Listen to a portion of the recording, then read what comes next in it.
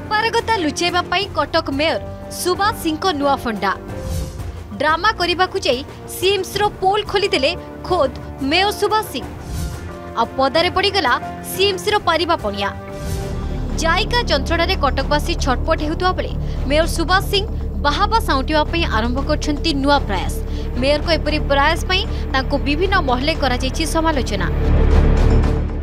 ଆଉ ସିଧା ସିଧା କଟକବାସୀଙ୍କ କହିବା କଥା ମେୟର ଆଉ ଡ୍ରାମା ନକରି ଲୋକଙ୍କ ସମସ୍ୟା ବୁଝିବା ଦରକାର। ସରକାର ତ ତାଙ୍କ ହାତରେ ଆଉ ଏଇ ଡ୍ରାମା କାହା ପାଇଁ?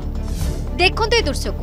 ରାସ୍ତା ପାଖରେ ବସି ଖାଉଛନ୍ତି ପୂର୍ବତନ ସାଂସଦ ତଥା କଟକ ମେୟର ସୁବାସ ସିଂ। ପାଖରେ ବି ରହିଛନ୍ତି ଗଣ୍ଡା ଗଣ୍ଡା ସମର୍ଥକ। ଆଉ ଚାଲିଛି ବି ଫଟୋ ଉଠା ପର୍ବ। ମେୟର ମହାଶୟ ବସି ଖାଉଛନ୍ତି ଆଉ ସେଠାରେ ଖଟ ପକାଇ ଶୋଇଛନ୍ତି। ମେୟରଙ୍କ ଖାଇବା ଓ ଶୋଇବା ପାଇଁ ସମସ୍ତ ପ୍ରକାର ପ୍ରସ୍ତୁତି ବି ହୋଇଛି। ଏ ଦୃଶ୍ୟ କଟକ ଚୌଧୁରୀ ବଜାର। ଜାଇକା କାମ ଚାଲିଥିବା ବେଳେ ରାସ୍ତା ଦବିଗଲା ଆଉ ସାଧାରଣରେ ସିଏମ୍ସିକୁ ସମାଲୋଚନା କରାଗଲା। ଆଉ ଏଥିରୁ ଆତ୍ମରକ୍ଷା ପାଇଁ ମେୟର ବାବୁ ଏପରି ଫଣ୍ଡା ଆପଣେଇଥିବାର ଚର୍ଚ୍ଚା ହେଉଛି। ଆଗକୁ ଆସୁଛି କଟକର ପ୍ରସିଦ୍ଧ ଦଶହରା ଯାତ୍ରା। ରାସ୍ତାର ଅବସ୍ଥା ବିଭିନ୍ନ ମହଲେ ମେୟରକୁ ସମାଲୋଚନା କରାଯାଉଥିବା ବେଳେ ଏହା ମେୟର ସୁବାସ ସିଂଙ୍କ ନୂଆ ଡ୍ରାମା ବୋଲି ସାଧାରଣରେ ଆଲୋଚନା ହେଉଛି। କଟକରୁ ଇମ୍ରାନ ଖାନଙ୍କ ରିପୋର୍ଟ ଅର୍ଗସ୍ ନ୍ୟୁଜ୍।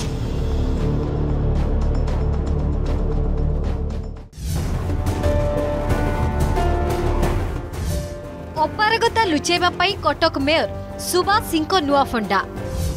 ଡ୍ରାମା କରିବାକୁ ଯାଇ ସିଏମ୍ସିର ପୋଲ୍ ଖୋଲିଦେଲେ ଖୋଦ୍ ମେୟର ସୁବାସ ସିଂ ଆଉ ପଦାରେ ପଡ଼ିଗଲା ସିଏମ୍ସିର ପାରିବା ପଣିଆ ଜାଇକା ଯନ୍ତ୍ରଣାରେ କଟକବାସୀ ଛଟପଟ ହେଉଥିବା ବେଳେ ମେୟର ସୁବାସ ସିଂ ବାହାବା ସାଉଁଟିବା ପାଇଁ ଆରମ୍ଭ କରିଛନ୍ତି ନୂଆ ପ୍ରୟାସ।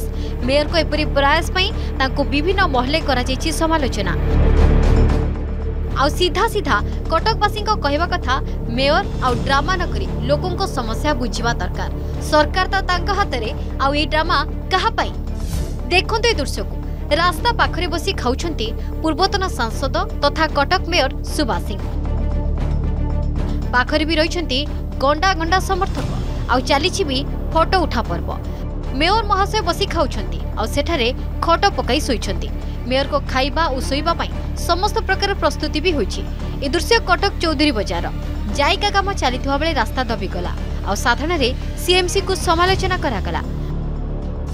ଆଉ ଏଥିରୁ ଆତ୍ମରକ୍ଷା ପାଇଁ ମେୟର ବାବୁ ଏପରି ଫଣ୍ଡା ଆପଣେଇଥିବାର ଚର୍ଚ୍ଚା ହେଉଛି ଆଗକୁ ଆସୁଛି କଟକର ପ୍ରସିଦ୍ଧ ଦଶହରା ଯାତ୍ରା ରାସ୍ତାର ଅବସ୍ଥା ବେହାଲ ଆଉ ଏପରି ସ୍ଥିତିରେ ବିଭିନ୍ନ ମହଲେ ମେୟରକୁ ସମାଲୋଚନା କରାଯାଉଥିବା ବେଳେ ଏହା ମେୟର ସୁବାସ ସିଂଙ୍କ ନୂଆ ଡ୍ରାମା ବୋଲି ସାଧାରଣରେ ଆଲୋଚନା ହେଉଛି